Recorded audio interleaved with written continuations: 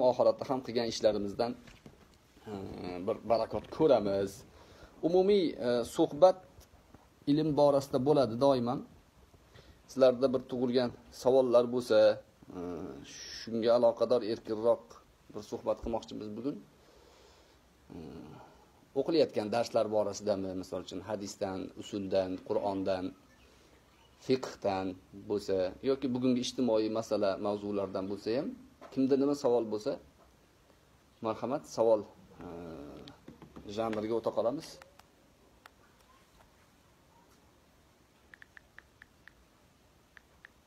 Ko'p nafs tarbiyasi haqida suhbat bo'lsa deb so'rashgan edi. Ha, nafs tarbiyasi. To'g'rida o'ldirish ilmga amal qilish. Xo'p, e, nafs tarbiyasi to'g'risida suhbat e, qilsak deyaptilar. Nafs tarbiyasi e, islom shariatining 3 dan biri hisoblanadi. Ya'ni islomning mutlaq maqsadlari 3 ga bo'linsa, bir qismi ruhiy tarbiya, nafs tarbiyasiga qaratiladi. Islomning birinchi fundamenti, asosi iymon. Keyin zohir shariat. islom undan keyin nima nafs tarbiyasi ruhiy tarbiya jibril alayhissalotu vassalomning hadislari bor. Jibril hadisi deb nomlanadi. Hazrati umar roziyallohu anhudan qilingan rivoyat. U kishi o'sha inson suratida kelgan odamni e, hikoyasini aytadilar. Bu hadisni ko'pchilik biladi. Shunda axbirni anil islam axbirni anil ihsan axbirni anil e, iman axbirni anil ihsan degan savollar bor. Shuni ulamolar aytadi. Islomdan xabar bering degan savolning ostida shar'iy bilimlar shakllangan. Payg'ambar alayhissalotu vassalom davrlarida e, tahorat kitobi namoz kitobi haj kitobi degan kitoblar bo'lmagan. Hozir ba'zilar aytadiyu bid'at e, tasavvuf bid'at ruhiy tarbiya bid'at deydiyu. E, o'sha gapni o'sha mezonni o'rtaga qo'yib e, gaplashaman desangiz unda tahorat kitobini yozish ham bid'at bo'lib qoladi. Haj kitobini yozish ham rasululloh davrlarida bo'lmagan sahobalar davrida ham bo'lmagan bu gap deyiladi. Xuddi shuni singari islom haqidagi ilmlar e, shariatni asoslarini ilmlarini e, tashkil qilganidek iymon haqidagi bilimlar aqidani tashkil qiladi. Aqida qanday e, tashkil bo'ladi nimaga ishonishimiz kerak nimaga suyanishimiz kerak nimaga bog'lanishimiz kerak? Qaysi narsalarga nas asosida ishonishimiz kerak? Endi mana sizlar tolibi ilmsizlar sizlar e, boshqa odamlar uchun zaruriy bo'lmagan ilmlar sizlarga zaruriy. Masalan qur'oni karimdagi mutashobih oyatlar qanday iymon keltiriladi? Ahkom oyatlarda nima bo'ladi? Bularni bilishinglar kerak. Chunki ommaga jamoatga e, o'zinglarni mm, borgan joyinglardagi jamoatiylarga jamoatinglarga islomning asl to'g'ri ma'nosini tushuntirishda bu zarur bo'ladi kerak bo'ladi. Uchinchi e, manhala. Uchinchi madrasa ruhiy tarbiya.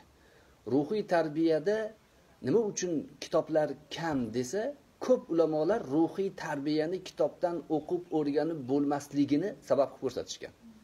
Ruhiy tarbiyani kitobdan o'qib olib turib ha shuncha qilsak shunaqa bo'lar ekan degan narsa yaxshi natija beravermaydi ruhiy tarbiyani ustozning o'zidan mushofahatan mubosharatan yuzma yuz o'tirib uning axloqi uning o'zini tutishi va insonga berilgan vazifani e, uni e, ya'ni nazoratida qilishi orqali amalga oshiriladi Xo'p, o'sha tavajjuh degan narsa bor ruhiy tarbiyada. Ustoz shogirdiga tavajjuh qilishligi, uni maqomiga ta'sir qiladimi desa, tasavvufda ta'sir qiladi deydi.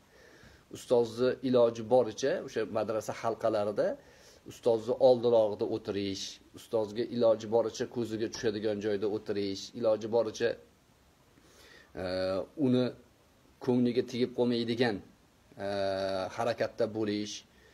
Ibn Abbos radhiyallohu anhudan qilingan bir rivoyat bor ustozni eshigini tagiga borib olib shu eshikdan baribir chiqadiku deb eshikni taqillatmasdan kutib o'tirgan bir kun ikki kun uch kun ya'ni man noqulay vaziyatda chaqirib qo'ymayin deb bu salaflarda bor hodisalar buni nima deyishadi sanlar bid'at to'qiyapsan, ustozi san o'zlaringga rob qilib olgansanlar" degan har xil tuhmatni qiladiganlar bor. Yo'q, bu bor, shariatda bor.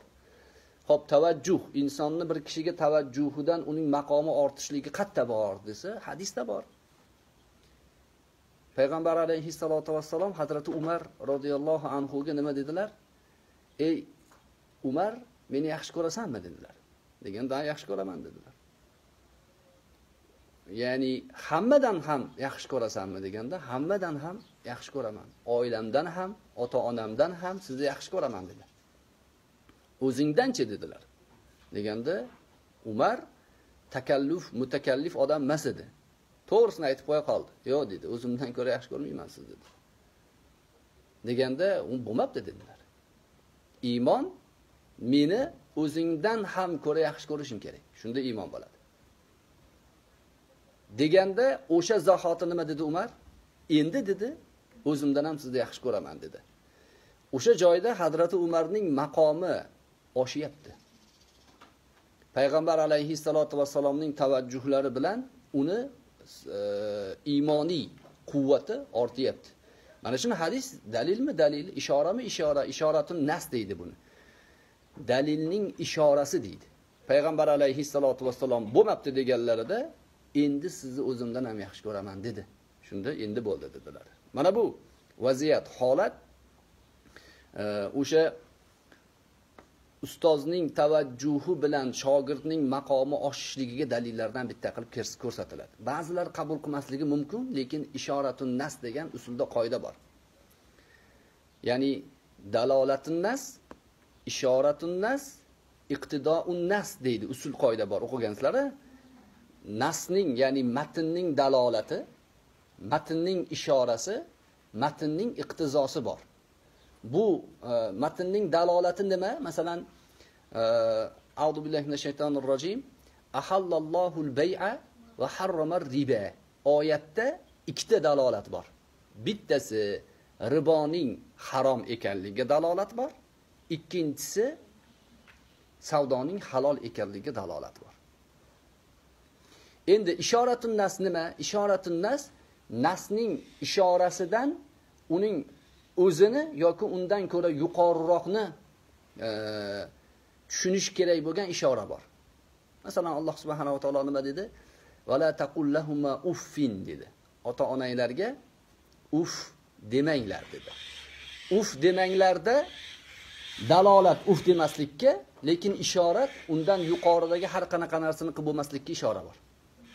To'g'rimi? Agar biz ishoratun nasni olmasak, ota onaga uf demasak bo'ldi-da, uni haqorat qilsak bo'laveradi degan gap kelib chiqib qoladi. Noto'g'ri bu. Xuddi shu singari payg'ambar alayhissalotu vassalomning Hazrati Umarga nisbatan aytgan gaplarida ishora bor. Payg'ambardek zotning oldida o'tirgan e, shogird bir daqiqani o'zida maqomi oshdi. Al ulama varasatul anbiya, ustozlar, ulamolar payg'ambarlarning merosxo'rlari. Ularning shogirdlari ham ustozning ko'nglini olsa, ularga nisbatan yaxshilik qilsa, ularning e, shar'iy nuqtai nazardagi xizmatlarini qilsa, maqomi oshadi. Ya'ni bitta dalil bor, Hazrati e, Ibn Abbos haqlarida hammamiz bilamiz. Payg'ambar alayhissalotu vassalomning e, duolari bor. Allohumma allimhu ta'wil deganlar, faqihhu fid din, allimhu at-ta'wil deganlar. Mana shu hadisni sababini bilamizmi? Ko'pchilik biladi, lekin bekitadimi? Yo'q. Asl maqsadni e, yo'qotishgan. Tasavvufiy joyi bor. Shu hadisni boshida tasavvufiy ishorasi bor. Ibn Abbos aytadilarki, men payg'ambar alayhissalotu vassalomning tahoratlariga suv qilib qo'ydim. Ya'ni xizmat, bir ustozni, payg'ambarni hurmati e-, e'tiboridan u zotga suv qilib qo'ydim. Chiqib suvni ko'rdilarda, Allohim allimhu ta'wil dedilar. Duo qildilar. O'sha ustozga qilingan xizmatni orqasidan duo qildilar. Hadisni o'qisangiz juda ko'p joylarda payg'ambar alayhissalom Ibn Abbosni duo qilganlar, dinda faqih qilgin, ta'vilni ta'lim bergin deb deganlar, lekin hadisga payg'ambardek zot Ibn Abbosni duo qilishlik darajasiga nima sabab bo'lgan desa, xizmat sabab bo'lgan. Buni buni urg'u berishimiz kerak aslida. ayniqsa bugungi kunda bunga urg'u berishimiz kerak chunki bugun ustozlar ilm egalari maydonga tashlanib bir qancha quturgan itlar orasida talanyapti kim qalang'i bo'lsin qasang'i bo'lsin it bo'lsin bit bo'lsin ustozga tashlanyapti. Ulamolarni obro'sizlantirish uchun kampaniya boshlangan. Ahli ilmlarga nisbatan ularni gaplarini e, obro'sizlantirish uchun katta katta jamoalar tuzilgan. Hech kim gapini bir tiyinga olmaydigan odamlar ijtimoiy tarmoqda hammaga imom peshvolik qilyapti qo'shtirnoq ichidagi shaytonlarning shunaqa qalang'i qasang'ilarning imomligi qilib masxara haqoratomuz ishlarni qilyapti. Ilgari bunaqa narsalar bitta ikkita odamdan bo'lgan. Masjid oldiga kelsa ahli ilmi uyga kelsa bitta ikkita gapirgan bo'ldi. Hozir ommaviy talashyapti mana shu o'rinlarda biz hadisda hadisi shariflarda nas dalolat ishorat bo'lgan naslarda ustozlarni hurmat qilishlik o'sha e, nafs tarbiyasidagi eng muhim ahamiyatli narsalardan ekanligini bilishimiz kerak. Bo'lmasa bo'lmaydi. Quruq kitobni o'zi bilan o'qib man ham qori bo'lishim siz ham olim bo'lishingiz mumkin.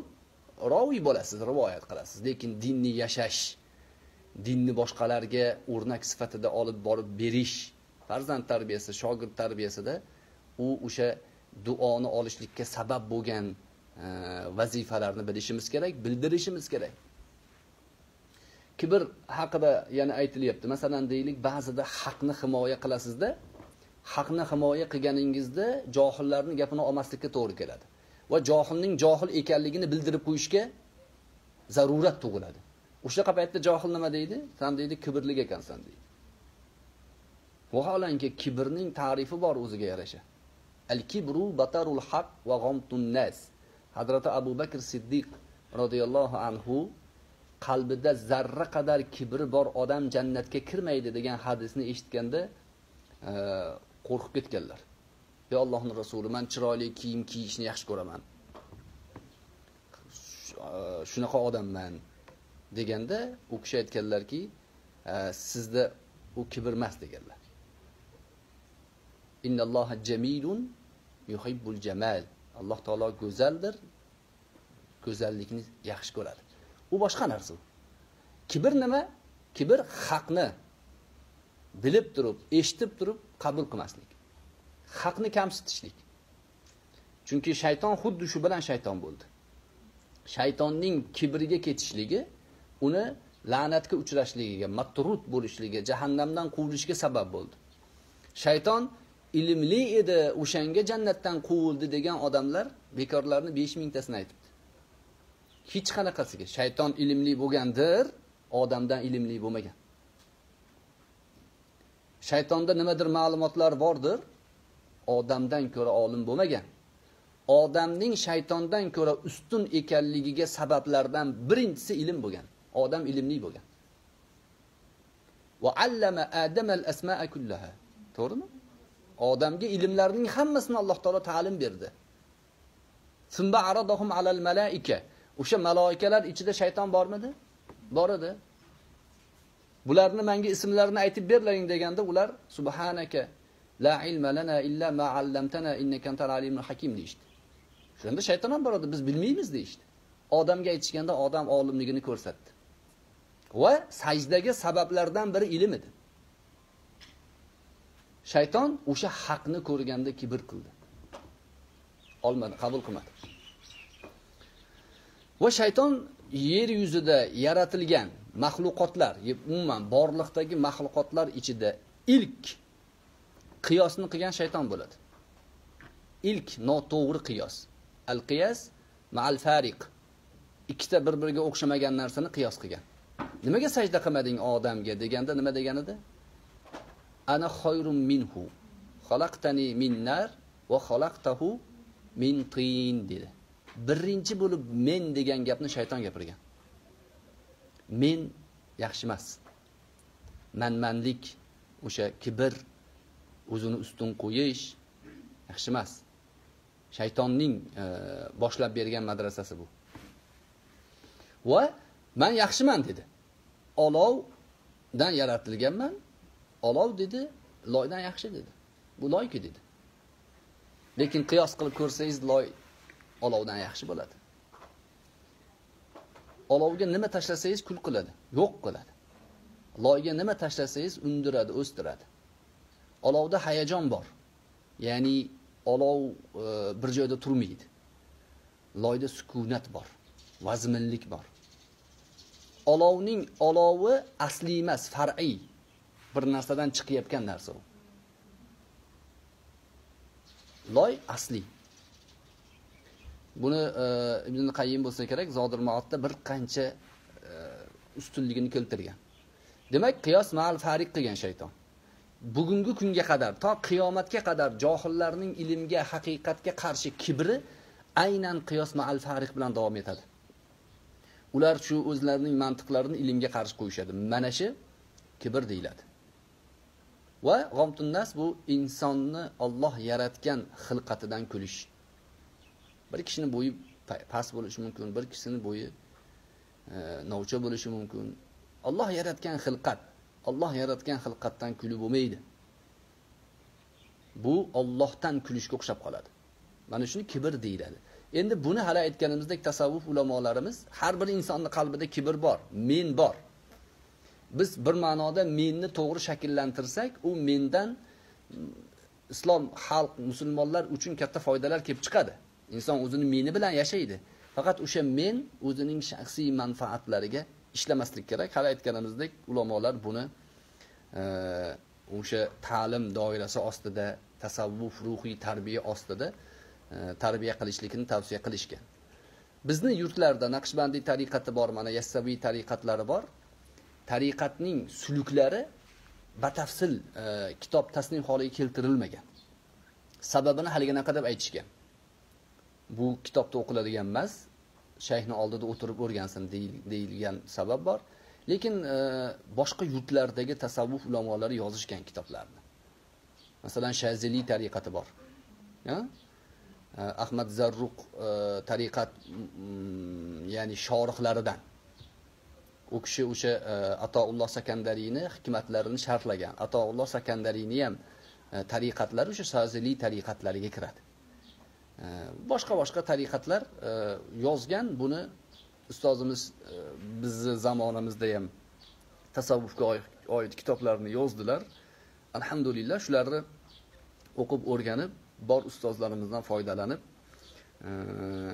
shakllantirib borishimiz kerak inshaalloh. Yana nima savol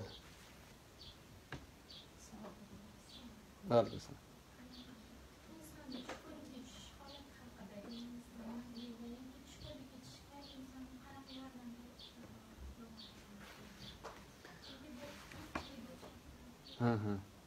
tushkunlikka tushsa nima bo'ladi? Nima qilish kerak? Islomda nima degan e, tavsiyalar bor deyaptilar.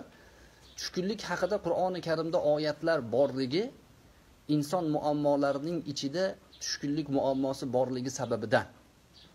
Tushkunlikka tushish borki oyatda tavsiyalar bor.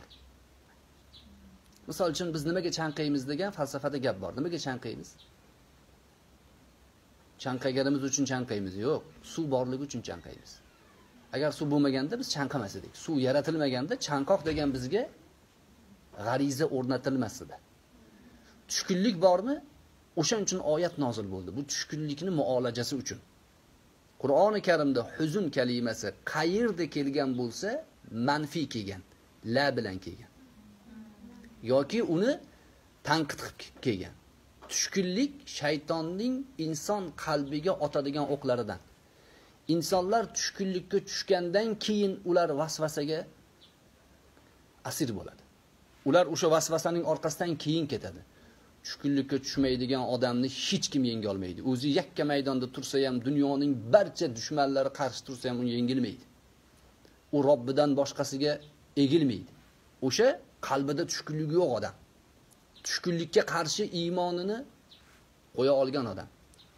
Alloh subhanahu taolo payg'ambar alayhissalotu vassalom bilan abu bakr siddiq roziyallohu anhuni hijratga buyurdi. Hijratda o'sha g'orga kirib turganlarida mushriklar bostirib keldi o'sha paytda hazrati abu bakr siddiq roziyallohu anhu tushkunlikka tushganlar endi nima bo'ladi deganlar Ashi endi nima bo'ladi? Tushkunlik shu. Alloh subhanahu va taologa nisbatan qadardagi haqiqat, iymon haqiqatining g'alabasiga nisbatan shubha bu, yaxshi emas. Shunda payg'ambar alayhissalotu vassalom la tahzan dedilar.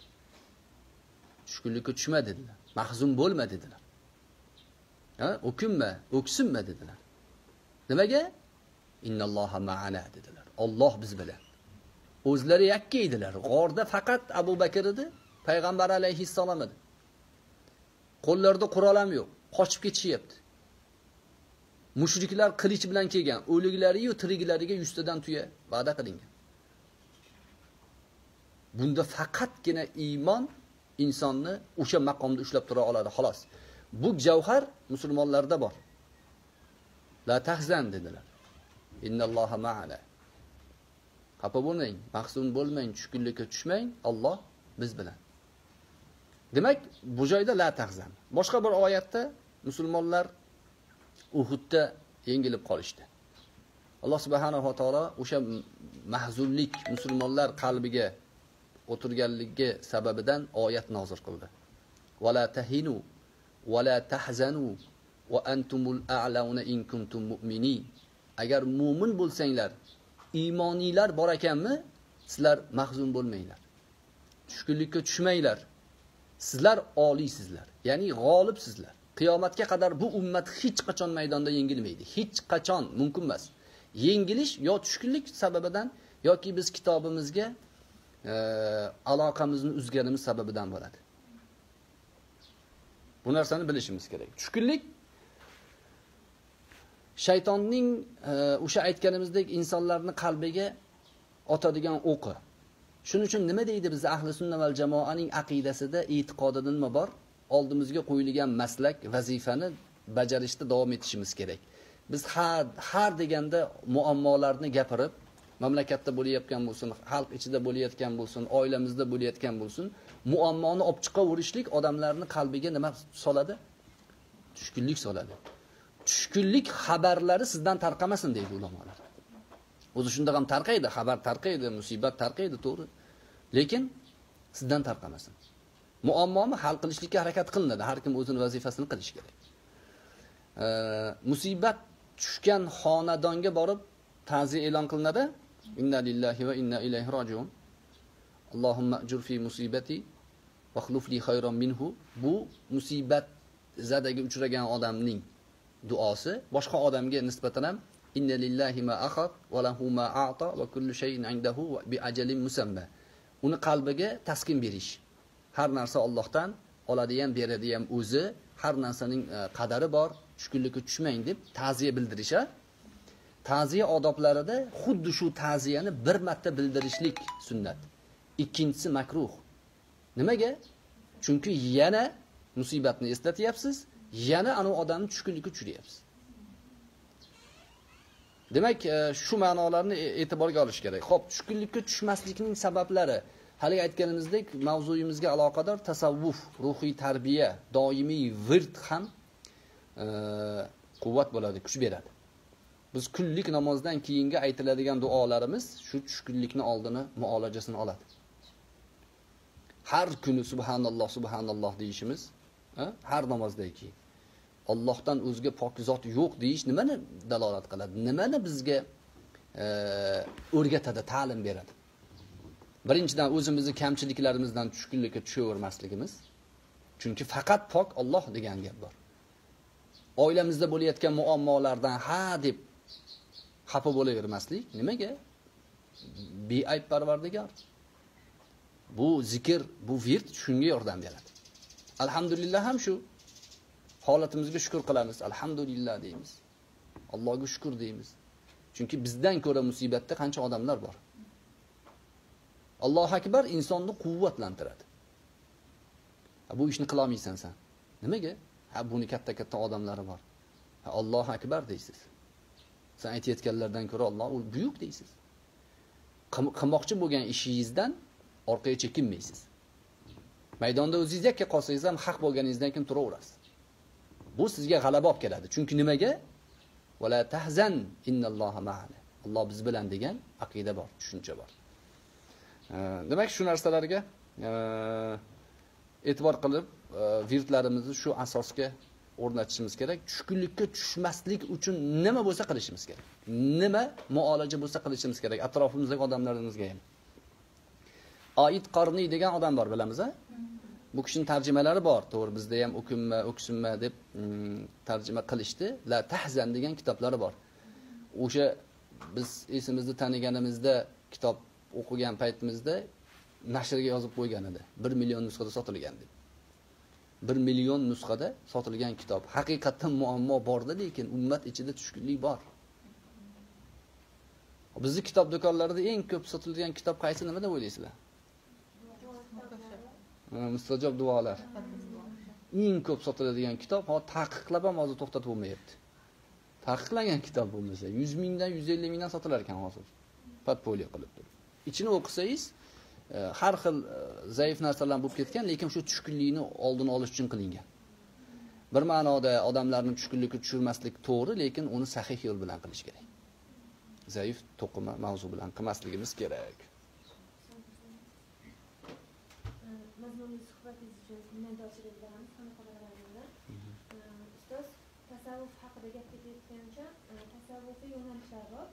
Naqshbandga yoki shunga o'xshagan yo'nalishlar bitta yo'nalishdagi inson boshqa bir yo'nalishdagi amallarni qilishi taqiqlanmagan ya'ni bu- bunga qarash xuddi mazhablarga qarash kabi e, e'tibor berilmaydi shariatimizda. Shu haqida so'ramoqchi edik E, shu haqida so'ralgan paytimizda o'sha aniq javob topolmay qoldik. Shuning uchun keyin tushuntirib bersangiz. Xo'p, endi amallarda masalan ustoz tutish masalasi bor o'zi. Har har qanaqa mavzuda, masalan fiqhda bo'lsin, aqidada bo'lsin, hadisda, tafsirda bo'lsin, ustoz ushlanadi. O'sha ta'lim ta'lim degan kitob bor, ko'pchilik o'qigan bo'lsa kerak, tarjimasini ham chiqarishgan. Bir shaharga borganda, ilgari qadim zamonlarda shaharlarga borib ilm o'rganilgan. boriboq bitta ustozni ushlab olmagin. Oldin o'sha joyda yasha. 10 kun, 15 kun, 20 kun yasha. ustozlarni tekshir, kuzat. Nimaga bitta ustozni ushlaysan, borib ol, 10 kun, 15 kundan keyin yoqmay qolsa, boshqa ustozga o'tib ketsang, ana birinchi ustozni ko'ngliga tegadi. Hali yuqorida aytganimizdek, ustozni ko'nglidan qolish yaxshi emas. U shaxsiy bo'lmasdan e, shar'iy ma'noda ko'ngildan qolish bo'lsa, insonning ilmiga baraka bo'lmaydi. O'sha ma'noda tavsiya qilinmaydi. Masalan, deylik, bir ustozni qo'lida e, tasavvuf darslarini, ruhiy tarbiya darslarini maqom bilan o'rganib borilyaptimi? Ustoz biladi shogird nimani ga muhtoj, nimani o'rgana oladi. Uni ustiga boshqasidan ham olamanman, boshqa odamdan ham e, dars olaveraman deb ketsa, birinchidan ko'tara olmasligi mumkin. Chunki nozik masala. Ba'zan insonni e, g'ururiga ketkazib qo'yadi. Tasavvuf e, ulamolarining hayotlaridagi voqealardan ustozni tashlab ketib yuborib men Jabroil bilan gaplashyapman deb da'vo qilib, Hmm. aslida shayton vasvasiga uchragan odamlarni hikoyalari bor. Buni ko'p e, asarlarda keltirishgan. Bu endi tavsiya ma'nosida.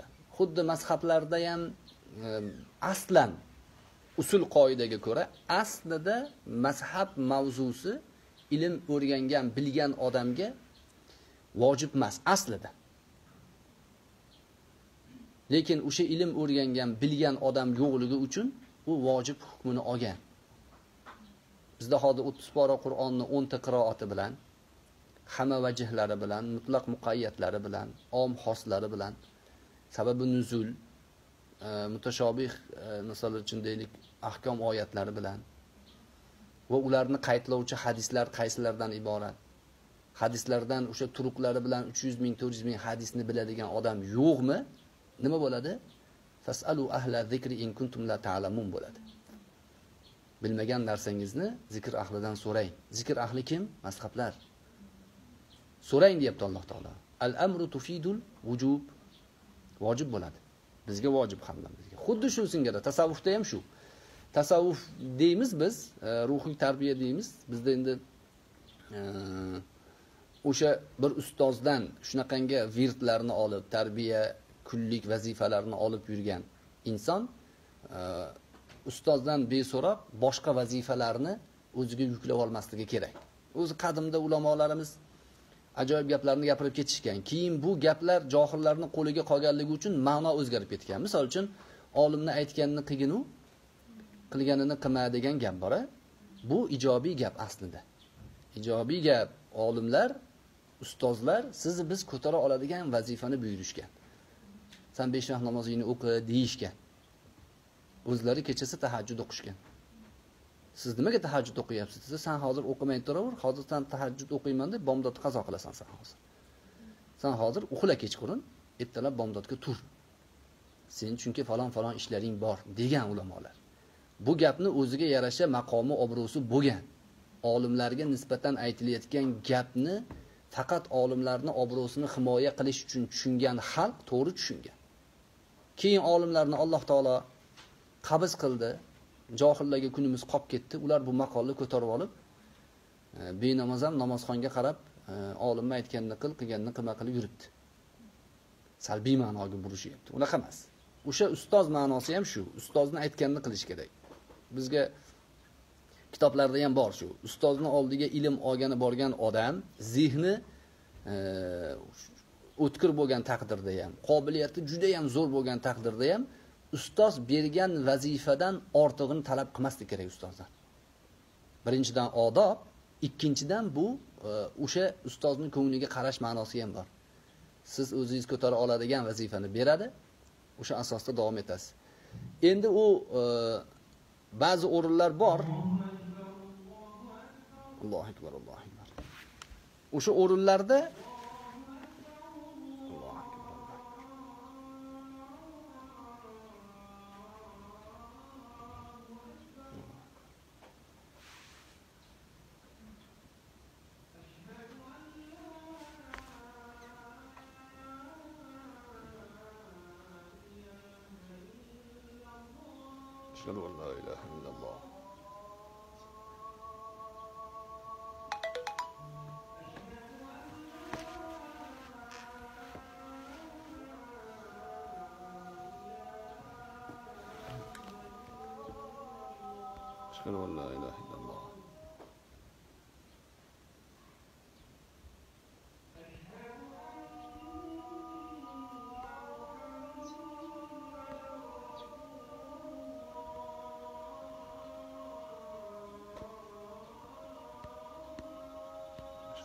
أشهد أن محمدا رسول الله صلى الله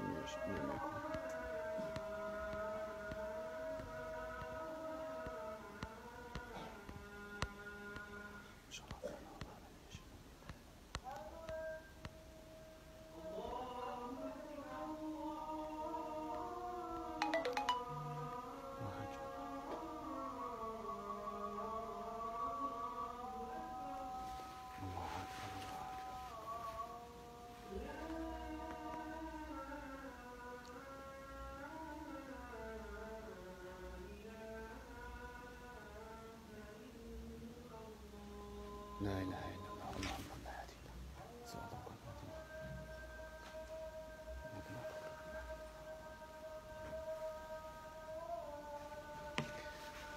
Xo'p, e, demak shu tasavvuf e, yana bir narsani to'g'ri tushunish kerak. Tasavvuf alohida bir eshik emas kiradigan.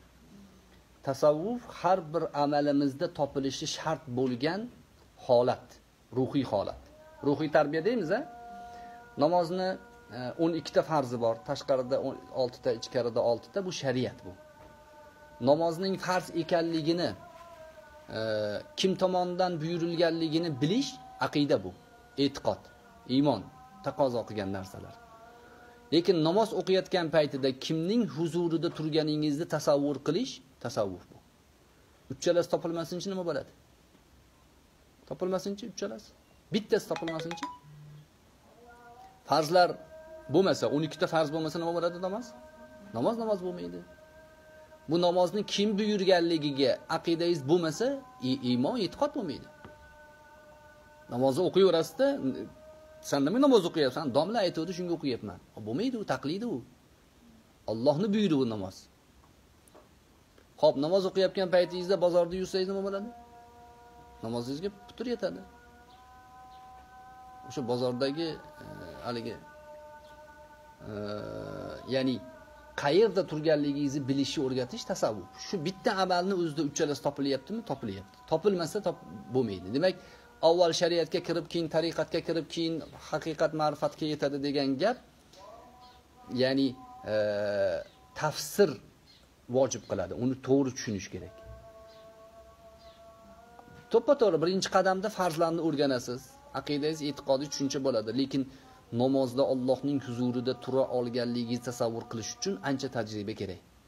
Har doim namozingizga alohida tayyorgarlik kerak. Hazrati ali karramallohu vajhahu tahorat qilayotganlarida yoki namozga turayotganlarida ranglari oqarib titrar ekanlar. Nimaga desa man kimni huzuriga ketyapman bilyapsizlarmi? derkanlar o'sha darajada bo'lish uchun demak har bir amalda topilish kerak. O'sha ma'noda bir vazifani qilib boryapsiz ustoz sizga o'rgatib boryaptimi? O'sha ustozni gapidan sekin Allohdan e, barakot so'rab boraverish kerak.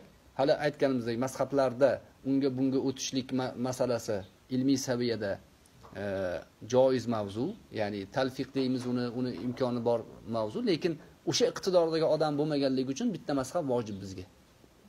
Tasavvuf ham shu. Biz ham tasavvufda bir maqom darajamiz yo'qmi? Ustozda tutganmizmi? Ustozni aytganini qilib boraverish kerak. Tavsiya ma'nosida shu. Ya'ni boshqa tomonga sakrab o'taverish tavsiya. Qilinmaydi. Xo'p. Yana nima savol?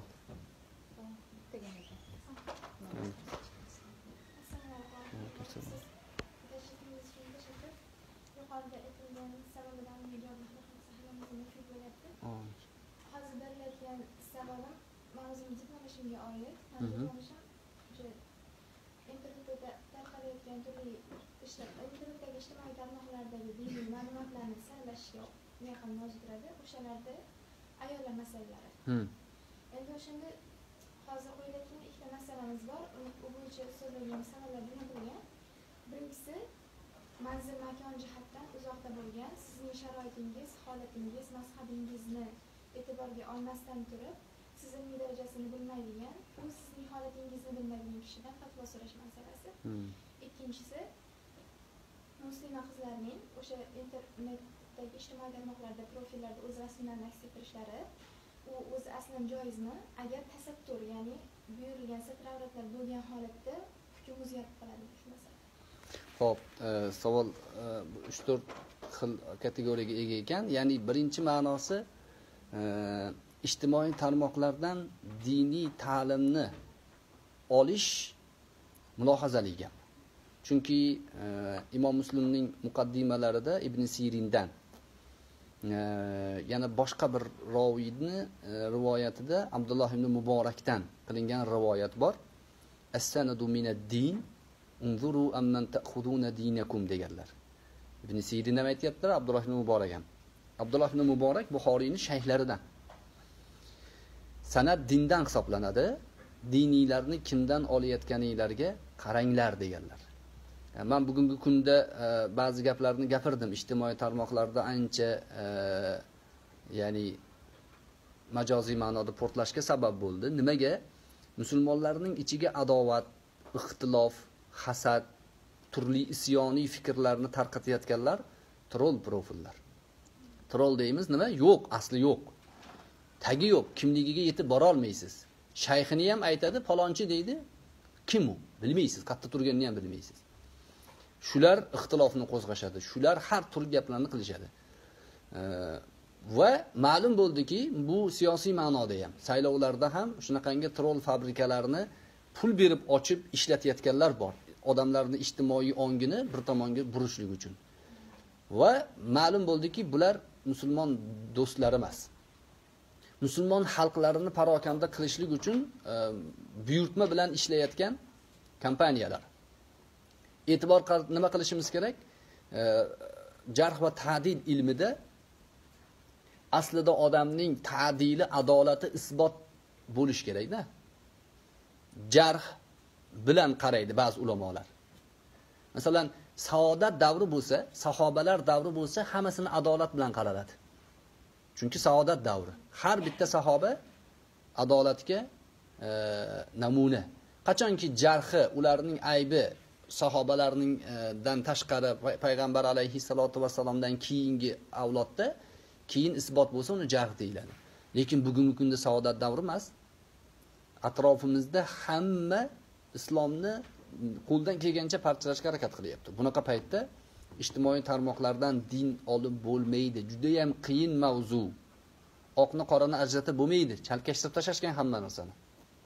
Ehtiyot bo'lish kerak. Shuning uchun talaba ilmlarga ahli ilmlarga imomlarimizga peshvolarimizga ota noilarimizga toliba qizlarimizga juda katta vazifa yuklatiladi. Mas'uliyat yuklatiladi. Biz dinni asl manbasidan o'rganyapmiz. Ustozlarni o'zidan olyapmiz. Ma'lum bilamiz bu ustoz qayerda o'qigan nima o'qigan? Bizga o'qitayotgan kitoblari ma'lum mashhur kitoblar. O'shani o'rganishimiz kerak bunga urg'u berishimiz kerak.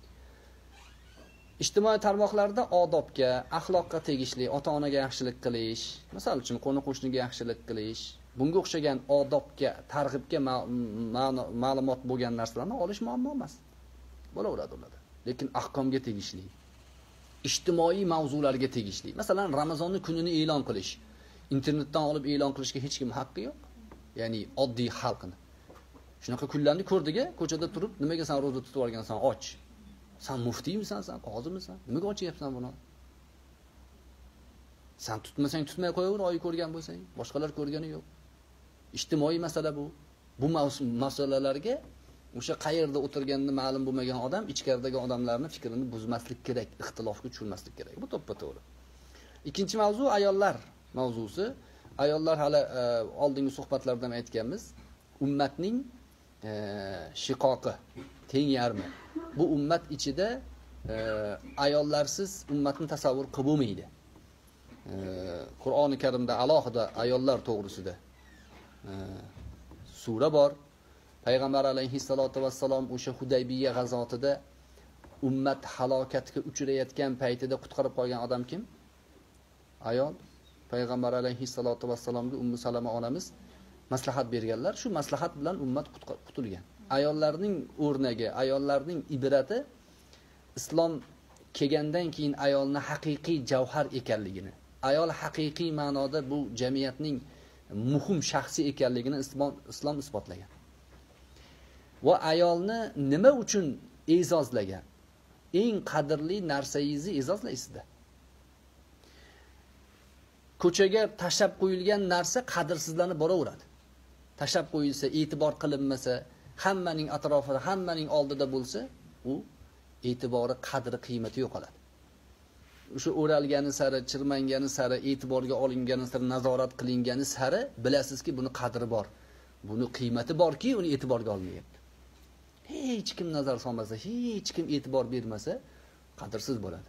Ijtimoiy tarmoqlarda modomiki satrlik bo'lsada modomiki hijobda bo'lsada rasmini qo'yish to'g'ri emas. Odob ma'nosida ham to'g'ri emas.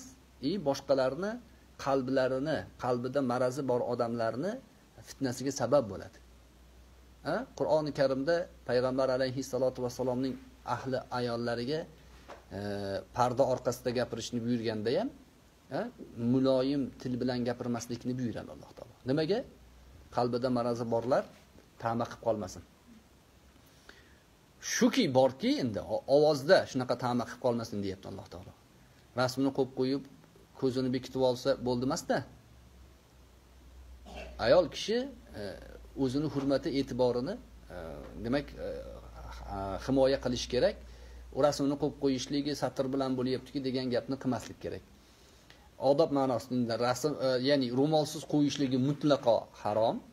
Shar'iy nuqtai nazardan biz shariat nuqtai nazaridan aytyapmiz. Kimdir bizga kelib yana e, san nimaga bunaqa qonun o'qiyapsan deyish demasin. Biz shariat nuqtai nazaridan gapiryapmiz. Shariatda shu. Kim amal qilish qilmasligi o'zini ixtiyori uni e, hisob kitobni alloh taolo qiladi. Lekin biz bu narsalarni o'rgatib tushuntirishimiz kerak. Uchinchi savol yo'q edi shu uyda? Rahmat sizlarga ham alloh subhanahu taolo suhbatimizni manfaatli qilsin mm, qilayotgan ishlarimizga barakot bersin. Eh, haq subhanahu taoloning roziligini topib borishimizda o'zi yordamchi bo'lsin. O'qiyotgan ilmlaringlarga haq subhanahu taolo manfaatlar bersin. Dunyoda sadaqa joriya bo'lib ilm qoldirishini xudo taolo barchamizga nasib qilsin. Sallallohu ala sayyidina va nabiyina muhammad va ala alihi va ashabihi ajma'in. Rahmatika ya rahmat.